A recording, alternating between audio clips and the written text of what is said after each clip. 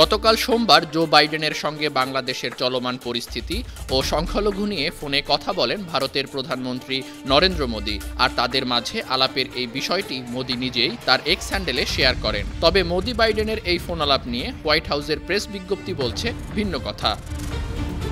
সোমবার রাতে দেয়া টুইটে মোদি উল্লেখ করেন ইউক্রেনের সার্বিক পরিস্থিতির পাশাপাশি আমরা বাংলাদেশের চলমান পরিস্থিতি নিয়ে কথা বলেছি।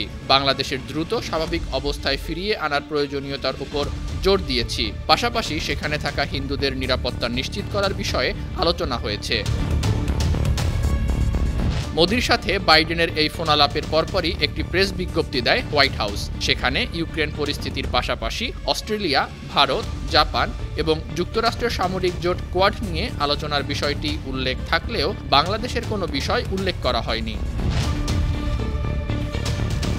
হোয়াইট হাউসের প্রেস বিজ্ঞপ্তিতে বলা হয়েছে, প্রেসিডেন্ট জো বাইডেন আজ ভারতের প্রধানমন্ত্রী নরেন্দ্র মোদীর সাথে কথা বলেছেন। মোদীর সাম্প্রতিক পোল্যান্ড ও ইউক্রেন সফরের পাশাপাশি আগামী সেপ্টেম্বরের জাতিসংঘ সাধারণ পরিষদের বৈঠক নিয়ে আলোচনা হয়েছে। পোল্যান্ড এবং ইউক্রেনে তার ঐতিহাসিক সফর ও জ্বালানি সেক্টর সহ ইউক্রেনের জন্য শান্তি ও চলমান মানবিক সহায়তার বার্তা দেয়ায় প্রেসিডেন্ট বাইডেন মোদীর প্রশংসা করেছেন।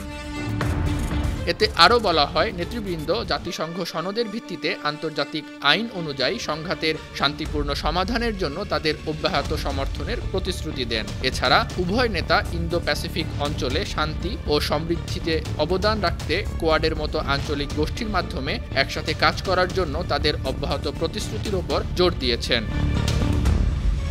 আন্তর্জাতিক ডেস্ক বান্ন টিভি।